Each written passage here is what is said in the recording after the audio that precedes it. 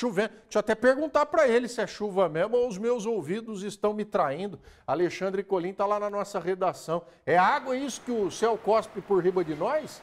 É, é, chuva sim, viu, Rodrigo? Estou olhando, a janela fica aqui bem do meu lado, então quem está nos assistindo nesse momento vai ver que eu dou uma olhadinha aqui para o meu lado esquerdo, exatamente para ter essa percepção. Chove forte nesse momento na zona oeste da cidade e pelo que está dando para ver aqui, viu, Rodrigo, nessa perspectiva que a gente tem aqui da nossa redação, o céu bauruense bastante carrancudo, ou seja, é possível que essa chuva forte, como eu disse, esteja atingindo vários pontos da cidade. É chuva sim e dá braba, viu, Rodrigo? Pedro e ele estava com o negócio abrigado e protegido dos olhos cubicentos. Que negócio que tinha escondidinho o mototaxista lá no Godói? Rodrigo, vou começar com a seguinte informação. É um negocinho, a maioria dos negocinhos escondidos, né? Que, tá, que tinham sido escondidos por esse homem, tem a característica de pó branco, droga cara, cocaína.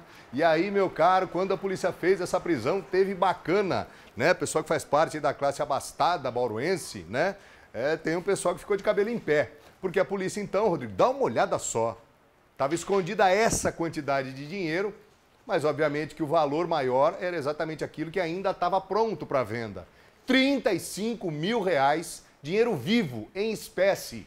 Encontrados, portanto, na casa desse homem, lá no Jardim Godói, na zona norte aqui da cidade de Bauru, um homem de 56 anos, viu, Rodrigo? Mototaxista, ou pelo menos ele usava a profissão de mototaxista para atuar como um traficante e era, de, e era independente, viu, Rodrigo? A polícia já tem essa informação, até porque ele era solicitado, ele era requisitado pelos, entre aspas, bacanas, para que levasse até eles, bacanas, uma quantidade ali de cocaína, etc. E aí esse homem, então, como é que ele agia? Com essa moto que você está vendo aí, ele tinha uma quantidade de entorpecentes guardada na casa dele. E tinha uma outra quantidade, pouca, sempre pouca quantidade, para não levantar qualquer tipo de suspeita. Mas era traficante, não era aviãozinho, não. E aí ele também tinha uma outra quantidade guardada no mototáxi que ele utilizava como fachada exatamente para fazer esse delivery da coca.